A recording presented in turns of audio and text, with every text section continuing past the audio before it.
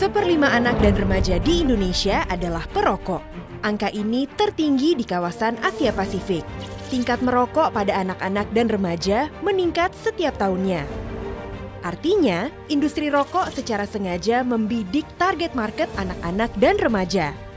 Tanpa menutup mata pada banyak faktor lainnya, harga rokok yang terlalu murah di Indonesia menjadi pemicu begitu mudahnya rokok diakses oleh anak-anak dan remaja. Rata-rata harga satu bungkus rokok di Indonesia sekitar Rp67.000 lebih murah dari harga rata-rata rokok di Asia Pasifik. Harga rokok yang rendah disebabkan oleh cukai rokok yang masih juga rendah. Mau sampai kapan kita membiarkan kondisi ini berlarut dan makin memburuk? Apa itu cukai dan apa gunanya? Cukai bukanlah pajak.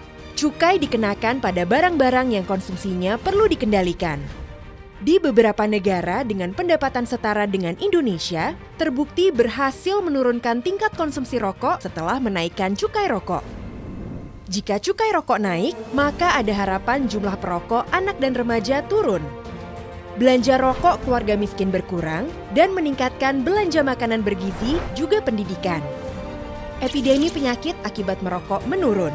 Beban ekonomi kesehatan yang ditanggung pemerintah dari penyakit akibat merokok berkurang penerimaan negara melalui cukai rokok meningkat dan dapat dialokasikan untuk membiayai belanja kesehatan atau JKN. Saya setuju cukai rokok naik supaya harga rokok lebih mahal. Sehingga masyarakat, terutama anak-anak, terlindungi dari bahaya rokok. Agar anak-anak dan keluarga miskin tidak lagi membeli rokok. Dalam pembangunan kesehatan, cukai rokok adalah vaksin sekaligus nutrisi bagi pembangunan. Karena sesuai dengan best practice internasional, ini adalah intervensi pemerintah untuk melindungi masyarakatnya dari kecanduan rokok itu sendiri. Saya setuju cukai rokok harus naik agar membatasi akses rokok terhadap anak-anak.